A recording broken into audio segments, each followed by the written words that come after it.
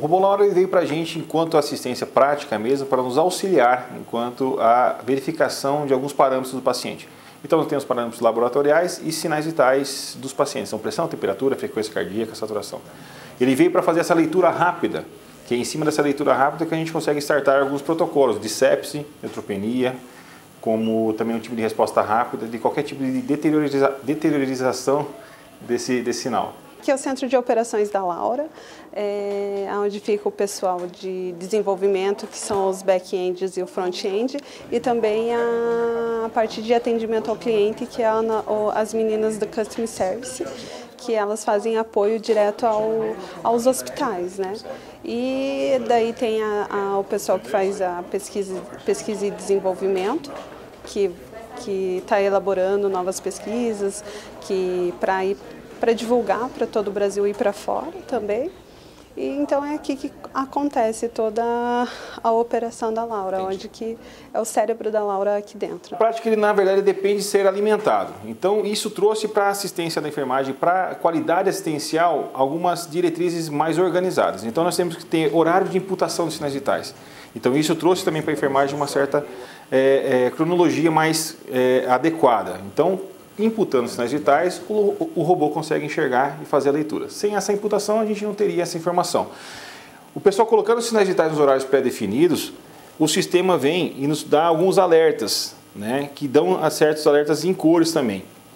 A gente, na prática, no dia a dia, a gente tem, é, por exemplo, hoje no meu hospital eu estou com 21 alertas, então esses 21 alertas a gente consegue enxergar os 21 alertas numa sequência lógica.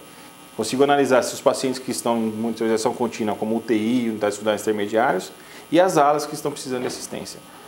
Então, com essa, com essa sinalização, tem alas que têm um paciente, dois pacientes ou até mesmo seis pacientes.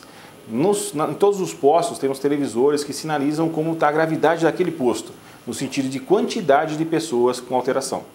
Isso para dimensionamento, para o dia a dia, isso ajuda muito nessa organização da equipe é uma plataforma de inteligência artificial. As meninas de Customer Service, elas dão o suporte ao hospital, que elas informam como que é o, a plataforma funciona. Então é, é, implantado no hospital e as meninas elas dão esse suporte ao cliente para é, para auxiliá-los no funcionamento da plataforma. Para a coordenação assistencial e para todos os pacientes, a gente vê que isso trouxe mais segurança na assistência. Segurança para o nosso paciente. Entendendo que é, hoje eu tenho 159 leitos.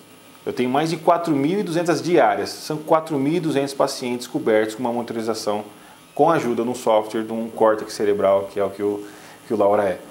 auxiliando em 100% dos nossos pacientes a dar a segurança que ele está sendo monitorado, está sendo vigiado, está sendo direcionado por prioridade de assistência. Então isso eu acredito que não tem preço né, na, questão, na, na questão de qualidade de assistência. Tem um treinamento que elas vão até o hospital, fazem esse treinamento com as enfermeiras, né?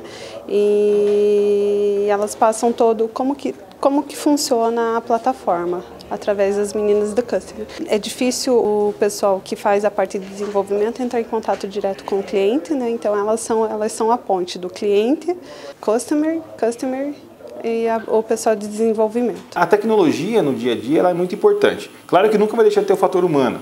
Né? O fator humano é importantíssimo, né? que você cuidar de pessoas, o carinho, de, né? o, o, o, amor que a gente prega nessa assistência. O amor é Mas um remédio. a tecnologia vem para nos dar alguma mais velocidade e a gente poder destinar talvez mais tempo para esse tipo de, de, de carinho e assistência.